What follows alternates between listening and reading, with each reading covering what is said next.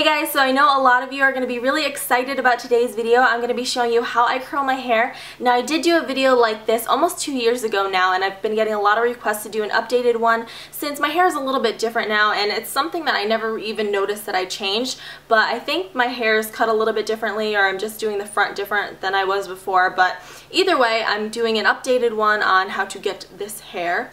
So I hope you guys enjoyed the video. All you're going to need is a curling iron. You can use any one that you want. I used to use Conair before I got this one. I got this almost two years ago when I did the last video.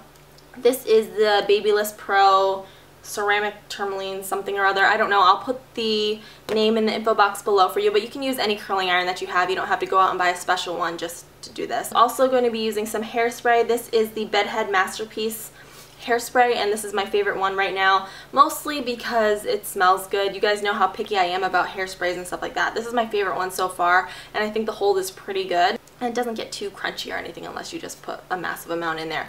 And also you're going to need a little hair clip to just kind of section the top part off.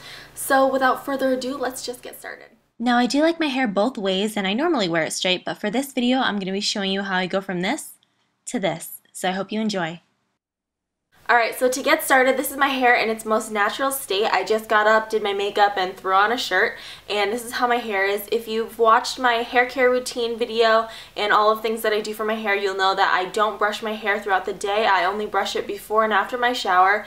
I don't like to brush it when I get up because most of the time I don't really need to. My hair doesn't really get tangly or anything like that, and also I feel like when I brush my hair, I lose a lot of volume, and as you can see, my hair doesn't really have a ton of volume as it is. It's a little bit on the flatter side, and my hair is not thick. It's um, normal to thin range, I would say, so I don't like to lose any additional volume that I may have. Just start off, what I'm going to do is just section off the top part of my hair. And sorry, there's going to be a lot of looking in the viewfinder for this video because I don't have a mirror here. But um, I'm not really too precise with it. I just want the top layers to be kind of tucked away. And then I just divide my hair in half. There you go. I can't really sit that much further back without my camera getting out of focus, so um, I don't have a camcorder or anything, it's a DSLR. When you have a DSLR and you have to get these different lenses to put on there, the lens that I have that came with the kit that I bought, um, it has like a certain length. Like you can focus in and out, but it only goes out to a certain point, so I'm out as far as I can go. Anyway, not that you guys care about cameras, but I'm just explaining to you guys why you can't really see everything that's going on. So I'm just going to take my curling iron and I have it set to the highest heat setting. I always try and get a curling iron that has multiple heat settings. I did do a video about this previously, like almost two years ago now, that I'll link in the info box for you below that kind of goes into more detail on what I look for when I buy a curling iron. Um, I've had this one since I've done that video, so same one I've been using. And then I just start off by grabbing a piece of my hair and curling it up. Now I'm just going to continue to curl the rest of my hair and I don't really have a set way of how I curl my hair for the bottom half as far as whether I turn it inwards or outwards towards my face. I kind of just go with whatever feels more comfortable. So another thing that I'll do if I'm going to be having to have my hair be decent for a few hours or if I'm filming, I will take a little bit of hairspray and I really like the Bedhead Masterpiece hairspray, mostly just because it smells good. You guys know I'm very particular about hairspray. And then I'll just kind of spritz the bottom and scrunch that up a little bit.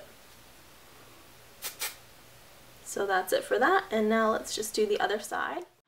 Another thing you may notice is that when I curl my hair, I actually leave out about a half an inch or so at the bottom of my hair, and that's because I don't like to apply heat directly on the ends.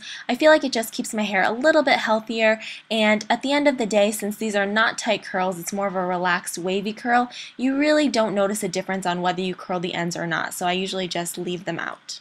So now I'd say I'm pretty much done with curling the whole bottom section of my hair. Like I mentioned before, there really isn't an exact method to it. I kind of just go with the flow and whatever way I feel like doing it or whatever's more comfortable for me. A lot of times when I'm doing the whole bottom section of my hair, I'm not really paying all that much attention to it. I'm just kind of thinking about what I need to do for the day and just stuff like that. So it's not really a big deal and it's nothing that you need to freak out over or anything like that. One thing I will mention as a little tip if you're interested, if your hair is a little bit flatter that day or in general if you're looking for a little bit more volume, since I parted it up top right here, I like to curl the ones over here a little bit tighter sometimes, so sometimes I'll just go back in and kind of curl that section.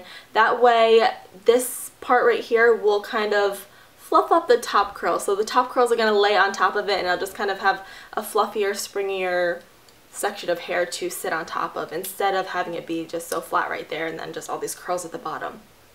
So there's that. And now I'm just going to let down the top part of my hair, which is the important part. And then you can part it whichever way you want. I have to check in the mirror again, sorry. I guess that's okay. And now you're just going to curl this section. So the back pieces I just like to curl regularly just like I curl the rest of my hair. Alright, so sorry for this kind of quiet section right here, but I did want to keep some portions of this video more real time. That way you could see just how long I'm keeping each piece of hair in the curling iron. Of course, it may vary for you depending on how your hair takes to heat, and that's something that you'll just learn through trial and error. So I'm just continuing to curl those. Now I do like to let the top curl sit in the curling iron a little bit longer and let the curls get a little bit hotter. I don't know, I like more defined curls on top I guess. These are things that I normally wouldn't really notice but since I'm talking about it I kind of notice it. And for the top layers I do like to curl them away from my face. I'm sure I'm going to say this a million times in this video, but I really don't have an exact science on how I do my hair. A lot of people ask me or they'll be like, oh, I like your hair today. How did, did you do it differently? It looks different. And I honestly don't even know. It, my hair comes out differently every single time. So I'm hoping today it will come out okay.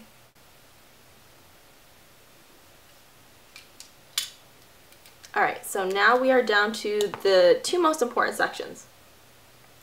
So I have these front pieces right here and a lot of times what I like to do is just kind of split them in half. I split it, I don't know if you guys are going to be able to see this. I like to split in half where I have a bottom layer and a top layer. So I usually, I curl them the same way, but for some reason when I split it, I think it just comes out better or just a fuller curl. So I'm just going to do that one and then do this one.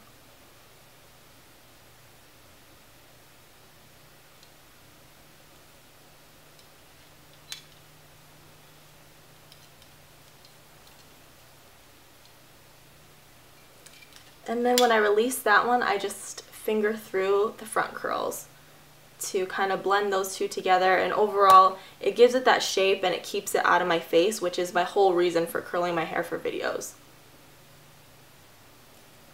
And then you can just kind of play around with it. I also don't normally wear earrings when I'm doing my hair but I don't know I thought it would look silly to put them in afterwards but it just looks silly because they're going all over the place. And then I just kind of spritz the front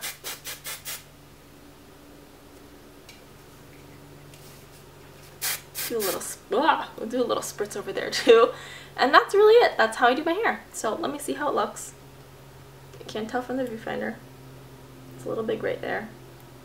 And really a lot of it's just kind of playing around with your hair and getting all the curls to go the way that you want them to go.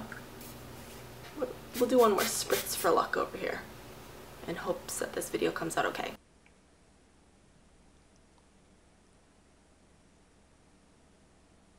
So that's really it. That's how I do my hair every time I curl it. I hope you guys enjoyed this video and that it was still helpful for you even though I didn't have the way I do my hair pinpointed down to a science. I'm really laid back with a lot of the stuff that I do and it's kind of just, you know, if it comes out good, then great. If it doesn't, we'll, we'll try something else. So I'm not really that particular about it, but hopefully by watching and seeing how I do it, you pick up some tips and tricks along the way. I know that everyone's hair is different and it's not going to work the exact same on everyone's hair. You really need to find what products work for you as far as hot tools and hairspray and just methods of doing it. But this is how I do my hair and I get a lot of requests for it. So I hope you guys enjoyed the video and I will talk to you later. Well, since I'm not used to doing hair tutorials, you know there had to be some bloopers. But this part is pretty self-explanatory, just curl your hair at the bottom.